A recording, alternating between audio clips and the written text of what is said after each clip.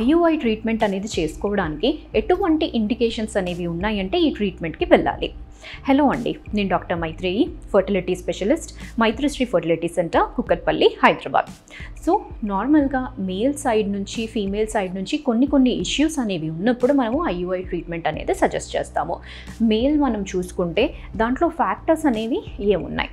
First and foremost important వచ్చేసి ఒకటి sexual dysfunctions అంటే వాళ్ళకి కలిసేటప్పుడు ఏమైనా ఇబ్బందులు అనేవి ఉన్నప్పుడు ఇంటర్ కోర్స్ అప్పుడు ఏమైనా ప్రాబ్లమ్స్ ఉన్నాయి ఎరెక్షన్ అన్నా కానీ ఇజాక్యులేషన్ అన్నా కానీ ప్రాపర్గా అవ్వడం లేదు అంటే అప్పుడు వాళ్ళకి ఐయుఐ ట్రీట్మెంట్ అనేది సజెస్ట్ చేస్తాము.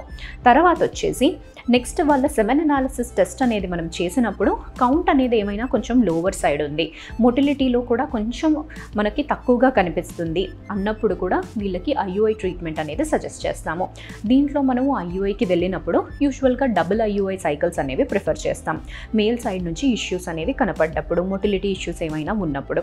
అలాంటి వాళ్ళకి డబుల్ ఐయుఐ చేసినప్పుడు బెటర్ సక్సెస్ అనేది వస్తుంది. అండ్ మనము ఫీమేల్ సైడ్ నుంచి చూసుకున్నప్పుడు ఏ ఇష్యూస్ ఉన్నప్పుడు ఐయుఐకి వెళ్తాము. ఫీమేల్లో మెయిన్గా ఒకటి ట్యూబ్స్ వచ్చేసి రెండు సైడ్స్ ఓపెన్ అనేది లేకుండా ఒకటే సైడ్ ఓపెన్ ఉంది ఒకటి బ్లాక్ ఉంది అన్నప్పుడు అలాంటి వాళ్ళకి మనము ట్రీట్మెంట్ అనేది ఫాస్ట్గా చేయాల్సిన ఉద్దేశంతో ఐయుఐ అనేది సజెస్ట్ చేస్తాం. అండ్ ఎటు సైడ్ అయితే ట్యూబ్ అనేది ఓపెన్ ఉందో అటు సైడ్ ఎగ్ రిలీజ్ అయినప్పుడు మనం చేస్తే బెటర్ సక్సెస్ అనేది ఉంటుంది.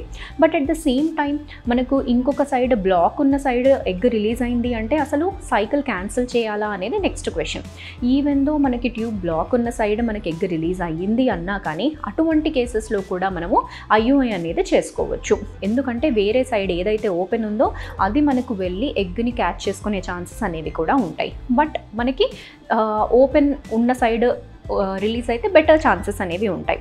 క్లోజ్ ఉన్న సైడ్ రిలీజ్ అయితే కొంచెం దానికన్నా సక్సెస్ అనేది మనకి తగ్గే ఛాన్స్ అనేది ఉండొచ్చు. తర్వాత ఫీమేల్కి వచ్చేసి మనము ఫస్ట్ ఒక సిక్స్ సైకిల్స్ అనేవి న్యాచురల్గా వాళ్ళకి ట్రై చేయడానికి అన్నట్టుగా మెడిసిన్స్ ఆల్రెడీ పెట్టున్నాము.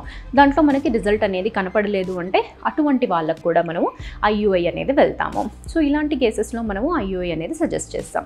తర్వాత వచ్చేసి మోస్ట్ ఇంపార్టెంట్ రీజన్ అనేది ఒకటి అన్ఎక్స్ప్లెయిన్డ్ ఇన్ఫర్టిలిటీ అన్ఎక్స్ప్లెయిన్డ్ అంటే మనము టెస్ట్లు చేసినప్పుడు ఎటువంటి ప్రాబ్లం అనేది మనకి కనపడదు.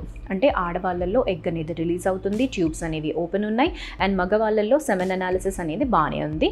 అకార్డింగ్ టు డబ్ల్యూహెచ్ఓ క్రైటీరియా వాళ్ళ పారామీటర్స్ కూడా కరెక్ట్గానే ఉన్నాయి. ఇటువంటి వాళ్ళకి న్యాచురల్గా ట్రై చేసినా కానీ ప్రెగ్నెన్సీ అనేది రావడం లేదు అంటే అప్పుడు వీళ్ళకి అన్ఎక్స్ప్లెయిన్డ్ ఇన్ఫర్టిలిటీ అన్నట్టుగా ట్యాక్ చేస్తాము. వీళ్ళల్లో మనము ఫస్ట్ మోడ్ ఆఫ్ ట్రీట్మెంట్ అనేది వెళ్ళేది ఏంటి అంటే ఐయుఐ పద్ధతి. సో అన్ఎక్స్ప్లెయిన్డ్ ఇన్ఫర్టిలిటీ ఉన్న కపుల్స్ అనేది ఆల్మోస్ట్ హండ్రెడ్లో మనకి ట్వంటీ టు థర్టీ పర్సెంట్ అనేది ఉంటారు. వీళ్ళల్లో చేయవలసిన ఫస్ట్ మోడ్ ఆఫ్ ట్రీట్మెంట్ అనేది కూడా ఐయుఐ తర్వాత వచ్చేసి ప్రీ రిక్విజిట్స్ ప్రీ రిక్విజిట్స్ అంటే కంపల్సరీగా చేయవలసిన టెస్ట్లు. ఐయుఐ ప్రాసెస్ కన్నా ముందు ఆడవాళ్ళల్లో ఏది మనకు కంపల్సరీగా టెస్ట్ అయ్యి ఉండాలి? మగవాళ్ళల్లో ఏం టెస్ట్ అనేది మనం కంపల్సరీగా చేసుకోవాలి? ఆడవాళ్ళల్లో చూసుకుంటే మనము ట్యూబల్ ఎవాల్యుయేషన్ అనేది హండ్రెడ్ పర్సెంట్ మనము ఐయుఐకి వెళ్ళే ముందు చేసి ఉండాలి. ఎందుకంటే ఐయుఐ చేసినప్పుడు మనము ఇలా మనము ఒక క్యాథటర్ ద్వారా శాంపుల్ అనేది గర్భసంచి లోపలికి వెళ్ళి అక్కడ డ్రాప్ చేస్తున్నాము. అది డ్రాప్ చేసిన తర్వాత మనం పంపించిన శాంపుల్ ఎక్కడికి వెళ్ళాలి? ట్యూబ్స్లోకి రీచ్ అవ్వాలి. ఆ ట్యూబ్స్ అనేవి ఒకవేళ ఓపెన్ లేకుండా క్లోజ్ ఉన్నాయంటే మనం చేసిన ఐయుఐ ట్రీట్మెంట్ అనేది అది దానికి ఉపయోగం అనేది ఉండదు. అందుకు ఫీమేల్స్లో కంపల్సరీగా ట్యూబల్ ఎవాల్యుయేషన్ టెస్ట్లు అనేవి జరిగి ఉండాలి. ట్యూబ్స్ ఓపెన్ ఉన్నాయా క్లోజ్ ఉన్నాయా? ఓపెన్ ఉన్నాయంటేనే మనం ఐయుఐకి వెళ్ళాలి. ఒకవేళ క్లోజ్ ఉన్నాయంటే మాత్రము ఐయుఐ కాకుండా నెక్స్ట్ వాళ్ళకి లాప్రోస్కోపీ చేయాలా లేకపోతే ఐవీఎఫ్కి వెళ్ళాలా అనేది చూడాలి. అండ్ మేల్స్లో మనము కంపల్సరీగా చేయవలసిన టెస్ట్ ఏంటి? Semen analysis. సెమెన్ అనాలిసిస్ టెస్ట్ని పట్టే మనము ఈ కపుల్ అనేది అసలు ఐయుఐకి ప్రిఫరబులా కాదా అనేది డిసైడ్ చేస్తాం. సెమెన్ అనాలిసిస్లో ఒకవేళ కౌంట్ అనేది చాలా తక్కువగా ఉంది. Three million four million or eight million కన్నా తక్కువ ఉంది అంటే ఇటువంటి కపుల్కి మనం ఐయుఐ అనేది సజెస్ట్ చేయము. వీళ్ళకి ఐవీఎఫ్ అనేది అవసరం పడుతుంది. అండ్ అనవసరంగా వీళ్ళకి చేస్తే ఆ సైకిల్ అనేది కూడా వేస్ట్ అయిపోతుంది. టైం అనేది చాలా ప్రెషియస్ అందుకు మనము దాని అకార్డింగ్లీనే ఏ ట్రీట్మెంట్ అనేది ప్లాన్ చేసుకోవాలి.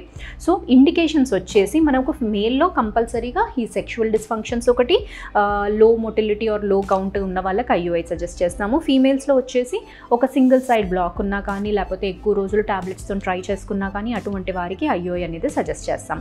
తర్వాత వచ్చేసి ప్రీ రిక్విజిట్స్ అంటే మేల్లో కంపల్సరీగా సెమెన్ అనాలిసిస్ అనేది జరగాలి. ఫీమేల్లో వచ్చేసి ట్యూబల్ ఎవాల్యుయేషన్ అనేది జరగాలండి. Thank you